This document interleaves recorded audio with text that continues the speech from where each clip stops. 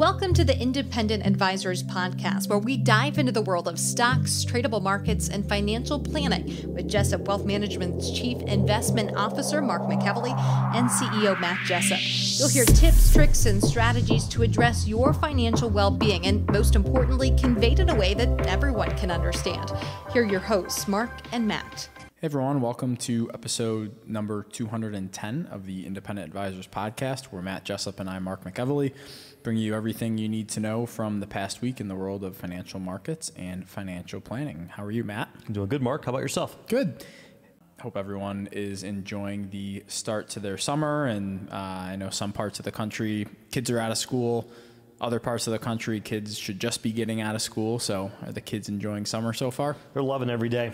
Staying up late, sleeping in. This morning, I was told my oldest, who is 11, Rachel had to go into his room at 11:30. Wow. Sleeping in. Sleeping in. Already starting the early teenage years, Mark. There you go. Yep. Yeah, I remember those days. Yep. It was nice. Not a care in the world, right? Not a care in the world.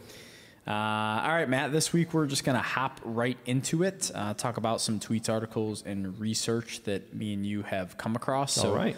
Uh, the first thing I have is a quote from Todd Sohn, who is a strategist at Strategas. Okay. Um, and this was the quote.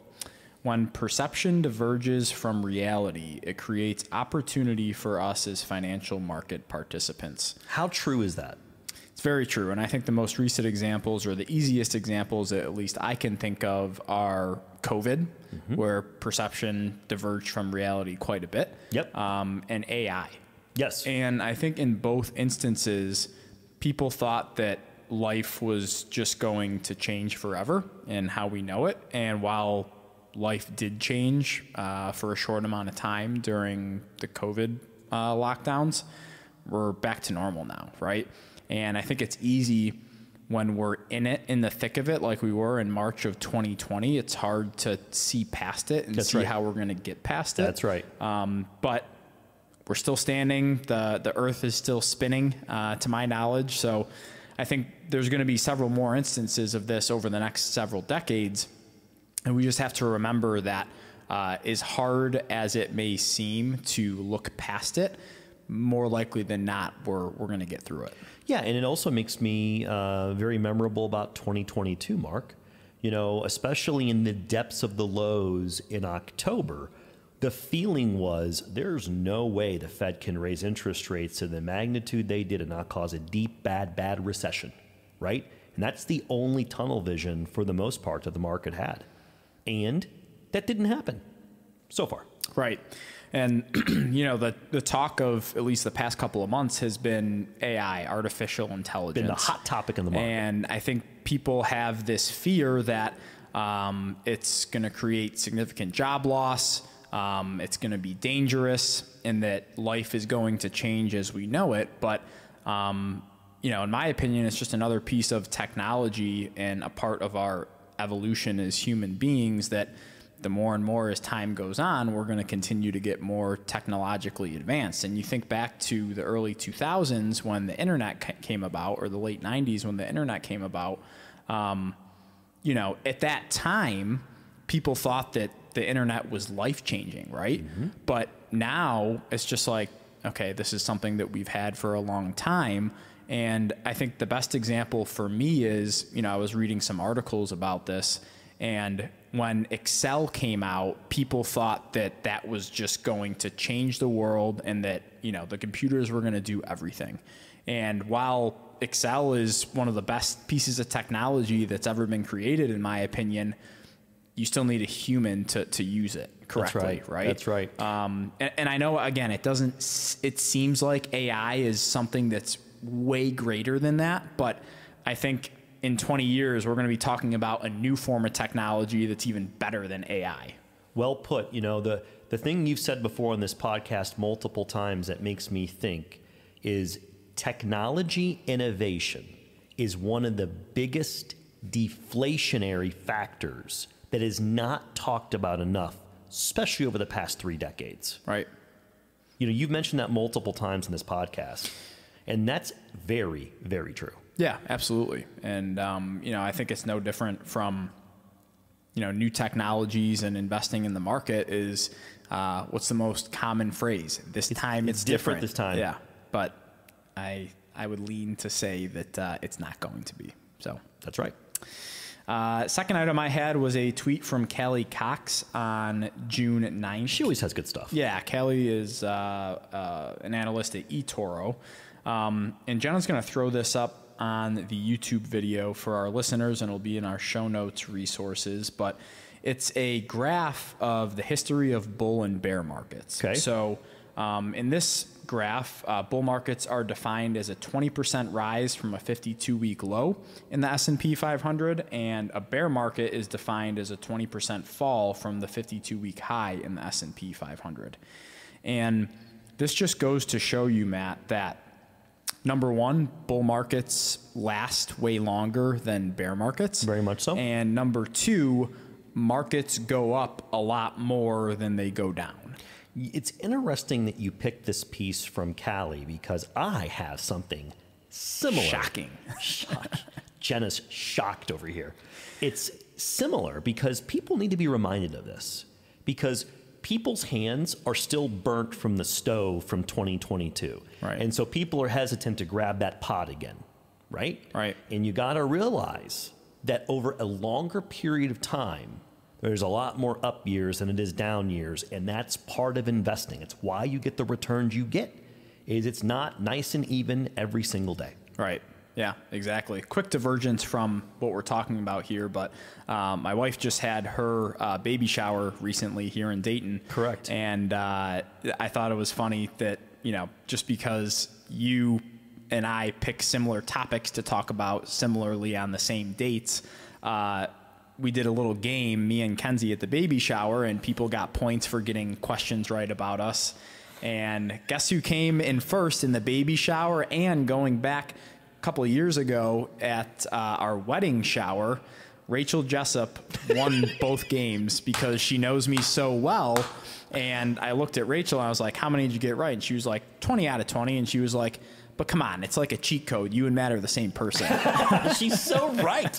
Is she right? She's right. She's very right. She's right. So uh, just thought I'd throw that out there for people. People are gonna love that. Um, I, I really do encourage people if you're not watching this on YouTube to to go ahead and check out the show notes on this because it really is quite dramatic um, and should give people more. Comfort. It's comfort. a polarizing image. Yeah, very polarizing. Should should uh, give people more comfort if they have hesitations right now. Right. Good, good way of saying it. Uh, last thing I had, Matt, was a tweet from Michael Kahn, who is a CMT, a chartered market technician, on June 9th. And uh, he tweeted a graph of the S&P 500, and he, all he said was a follow-up to yesterday's tweet, hashtag stupid media. Um, and, and what this shows, Matt, is it's a chart of the S&P 500. And as you can see by looking at this, from January 4th of 2022 to May 12th of 2022, the S&P 500 was down approximately 19%. Yes. And this was technically not a bear market. Missed it barely. But from May 12th of 2022 through October 13th of 2022, the S&P 500 was down about 9%. Yes. So the thing I want to point out here is the bear market only fell 9% from when it officially, quote unquote, became a bear market until the lows in October. And just as an investment guy, this just doesn't make much sense to me because most of the damage was done, Done before it was deemed to be a, bear, bear market. market. And it's the same thing on the other side. When the market rises 20% off the lows, that's a good chunk of, of Gains. the gains, right? Um, so again, I'm, I'm not in the theory of the 20% for a bear and bull market. Other people like to analyze it that way. I do not. Uh, like we said many times before on the show, um, you know, I like uptrends and downtrends. Keep it simple. Downtrends are lower lows and lower highs. Uptrends are higher highs and, and higher lows. So, um, interesting chart that, that kind of caught my eye. I love it. So I got uh, three items. Um, the first is market corrections are normal. So this is a piece from Mike Zaccardi on June 14th. He is showing a chart from the research firm Schroders with the data set ending December 31st of 2022, Mark. Okay? So for our YouTube viewers, Jenna will put this up. This will be in our show notes. This is a chart of the MSCI World Index, okay? Goes back to 1972. And what it's doing is it's showing the biggest stock market falls in each of the calendar years. Got that? So the past 50 years, Mark, we've had 29 times where the market has sold off more than 10% in a calendar year. From That's a high water mark. correct. Yeah. And that's 58% of all years. Okay? So let's round up to 60. So 60% of the time, you're going to get a correction during the year of at least 10%. Okay? Very, very normal. 13 of those times, the market sold off more than 20% in a calendar year. So that's 26% of the time. So one fourth every four years, statistically in the world index, you're going to sell off at least 20% at some point. Okay? I like this data set because even with those stats, as you pointed out about the Callie Cox piece, it still shouldn't get you out of the market as long as you have the proper time horizon, goals and objectives, and risk tolerance for those assets. That's why I picked this. Yeah, I think it's it's really good, uh, especially for people that might be uh, timid or, or scared. Um, you know, every year, you know, we expect at least a ten percent pullback At least at some point during the year. at some point during the year. So I don't, you know, the next time the market sells off by ten percent, I think it's it's gonna feel bad, and people, since we're so close to 2022. Only you know six months revo- removed from 2022, people are going to be like, "Oh my gosh, this is another 20 to 30 percent correction," and it might be, but it may not necessarily be the case. And if we only get 10 or 10 to 12 percent, it's very normal, and people shouldn't be freaking out. Love that you said that. You're playing perfectly into my second note I want to share. Okay? So, my second note I want to share is a blog post by our friend Ben Carlson on June 13th. The title of his blog post, Mark, is, quote, This is why you stay the course. I mean, am I following up you perfectly right here? It's great. Okay. He just writes content for this for this podcast. He does a great job. Okay, so this is what he wrote. I'm going to paraphrase and pick a couple of pieces that I think are going to be pertinent to our audience. The first is a chart of some of the worst years for the S&P 500 index. Jenna will put this up. You're going to see a data set mark of about a baker's dozen uh, years 1930, 31, 37, 40, etc. And what he shows is the next year, it tends to be kind of a feast or famine scenario. Just because you have a bad year doesn't necessarily guarantee the next year is going to be higher. And this data set proves that, right?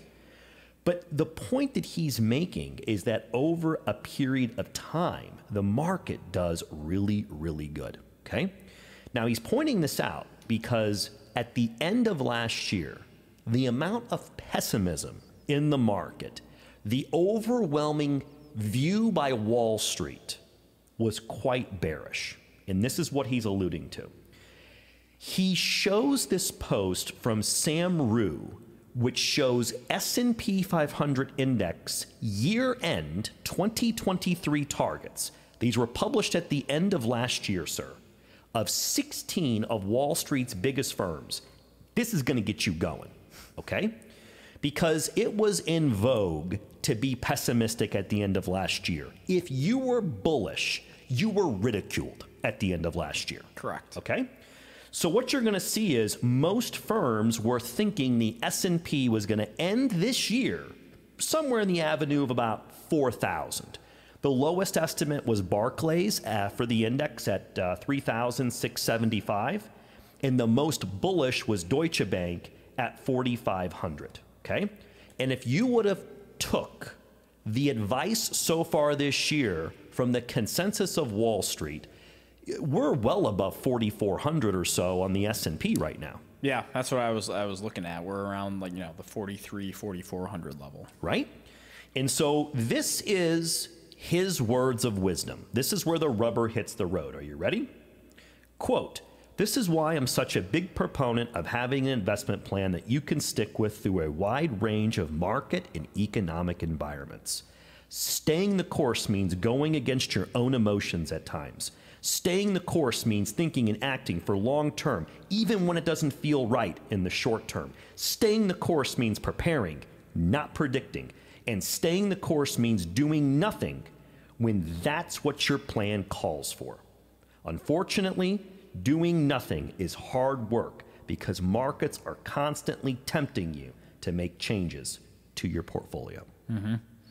And that's where, you know, and again, I don't want to beat a dead horse because we've talked about it so many times, but that's where people get into trouble is they get this overwhelming feeling that they need to be doing something in every type of market environment, especially when the market's going down. Um, or on the other side, when there's an individual stock that is just taking a rocket ship to the moon that doesn't seem like it can go down, they jump in, and typically it tends to be too late, and that's the top, right? When your friends are talking to you about it, when the taxi too late. driver's talking to you about it, when your Uber driver's talking to you about it, It's already too late.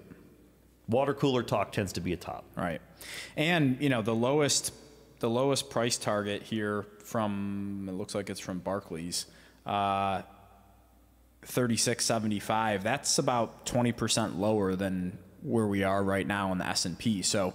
For Barclays to be right, we would have to go into another bear market between now and the end of the year. Very Anything's- possible, Anything's possible. but in my opinion, unlikely. Not likely. So again, you know, just be careful of the herd mentality because the herd mentality last year is 2023 is going to be a horrible year. The Fed's going to cause a deep recession, and I've been on that soapbox for a while. Mm-hmm. All right, my last piece is some good news for home builders. There's a really good blog, uh, listeners and viewers, if you're interested about what's going on with real estate. Uh, there's a gentleman by the name of Bill McBride. He has got a blog called Calculated Risk. Yeah, it's really good. He focuses on the housing market. He does a real good job. He does like the facts, the analytics behind it. This piece, Mark, is from June 19th. And I'll just briefly quote what he said.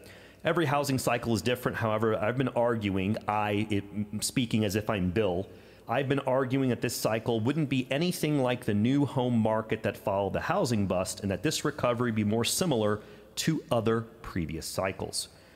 Here now, he shows a graph. Jenna will put this up for our YouTube viewers. It'll be in our show notes. The graph from previous posts showing new home sales from the Census Bureau for four periods marked are similar 1978 to 1982, 1989 to 1993, 2005 to 2020, and the current is in the red. The prior peak in sales are set to 100. What I like about this is you're getting a lot of people who are fearful or concerned that we are going to replicate the real estate cycle of 08 and 09 with a very long recovery time. And if you just look at the data sets, it doesn't look abnormal to other similar periods compared to, it doesn't look relational so far to the great financial crisis. So I want to put some data behind it that to me, this looks like more of a normal housing cycle than the beginning of another horrible multi, multi year cycle. Right. Just want to throw it out there. Yeah. No, it's a good piece. Good graph. Back to you. Um, I'll wrap up here, Matt, with uh, the financial planning topic of the week. Um, this came from a blog post from Ryan Holiday outlining uh, 31 lessons he has learned about money. And I just wanted to name a handful here. Please. Okay. And just stop me and let me know if you have any comments on any of these. All right, let's go. So the first one, he says, I've never met a person, I think you'll have some comments on this one. I've never met a person who ever reached their number. You know, people say when I hit X amount of million, I'll be good. They say once I have X years salary in the bank, I'll be good.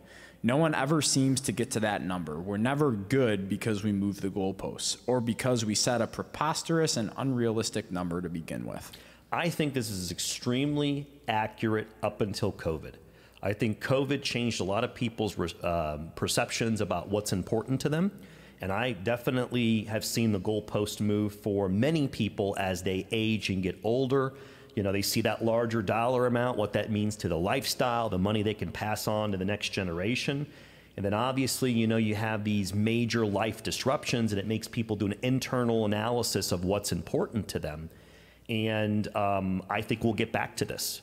You know, once things normalize and the pandemic philosophy kind of dissipates, I think we're going to get back to where, you know, my goal was X, I got to X, not enough, I want Y. You get to Y, then you're going to want Z, mm-hmm. right? Right. Um, I am a person where eventually, you know, you have a number and like, okay, all right, this is a number that I'm comfortable with, right? But for most people, the goalpost is going to continue to change. What do you say about this? Yeah, it's just it's it's common. It's human nature, right? Yeah. So you know you you get to your number, and then you know for some people they just want to set another goal, or for some people they're like, okay, well, I reached this number, but now because I have this and I'm making more money, I'm going to indulge in X, Y, Z, whatever Correct, it is. sir. It's different for, for everybody. And- Correct. And, they're like, well, now that I'm indulging, indulging in X, Y, Z, then I just need this amount, which is 10 or 15% more than my Yes. original goal. Yes. And, you know, where this comes into play for us is when people have a goal to save for money in the bank, right? Yes. They have a dollar amount that when their head hits the pillow at night, like you always say,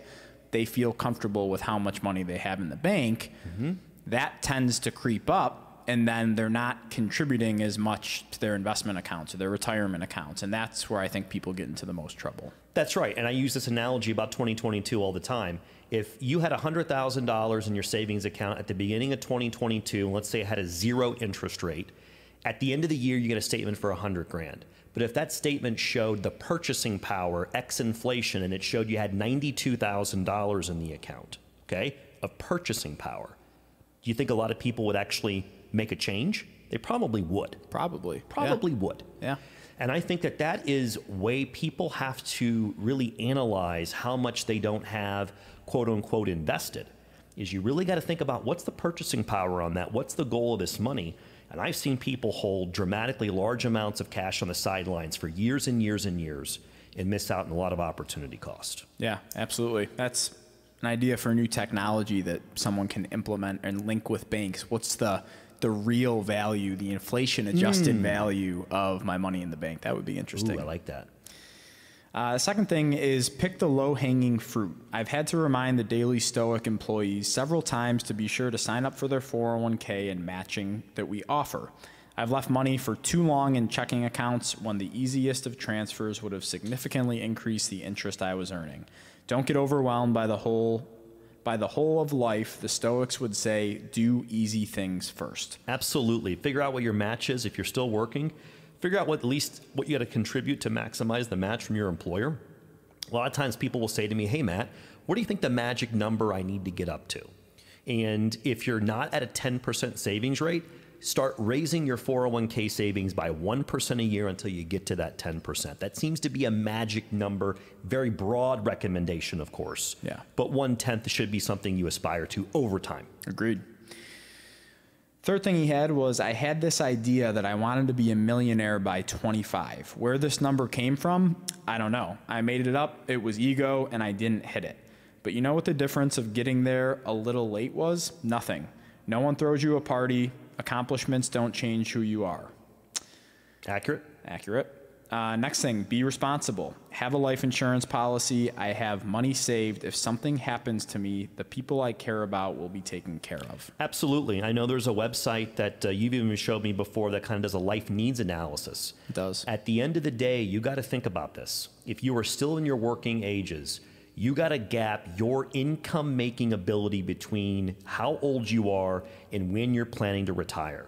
And for a lot of people, it could be like 10 to 15 times your annual compensation is what you need in life insurance, right? Right. And there's cost effective ways to get this though, you know, and there's so much accessibility. You have a trusted property and casualty agent. There's tons of sites where you can do searches on term insurance. So I definitely think it's an area where most younger people are way underinsured, and generally speaking, a lot of older individuals are overinsured. Correct. Yeah. Yeah. Every couple of years, it's good to, to look at insurance for sure. Yeah. Uh, next thing he had was anticipate the fact that maintaining discipline is hard. Automate. I'm always amazed when I check the balances of accounts where we've set up automatic transfers for investing, for our kids' college, for our emergency reserves. Things I set up a long time ago have been doing their job a far better job than I would have done had I put it on my monthly to do list. Did And you write that piece? I Did know, you write this that is- specific yeah, one? I know. It sounds like Mark McEvily. very similar thinking. Yeah, it's just it takes the friction out of it, right? We want to wrote that part, Jenna. We want we want to make things as uh, frictionless as possible, and one way to do that is to automate. I mean, you can automate pretty much anything these days. Paying your energy bills, paying your mortgage, uh, investing into your 401k, your IRAs. Uh, you know, it's it's pretty easy to do these and days. even raising the contribution rate. You know, a lot of 401k Yeah. providers, you can go in there and say, once a year on July 1st, raise my contribution savings by 1%. You can automate my plus 1 strategy. Right. It's easy. It's easy. Uh, last but not least, he says they say that if you think professionals are expensive, try hiring an amateur. This is true in the sense that being cheap or looking for a bargain on services has come back to bite me many times. And I can That is attest well said. I can attest to this too, and and I don't think I'll ever do it again. Is you know when I I try to quote unquote cheap out on something, I never get the result that I want. Yes. So paying someone for a professional service, although at first it might hurt a little bit up front, typically you know you get what you pay for, right? Um, so don't be afraid to spend money to help get things done that you need to get done. Again, if I hadn't said it once, I've said it a billion times on here. For whatever reason, if I were to end up in court, I would hire an attorney because I would have no idea what You I'm would doing. represent yourself. Right. You know, it's like I can even give you a uh, non financial relation to our practice, right? We have a tech consulting firm.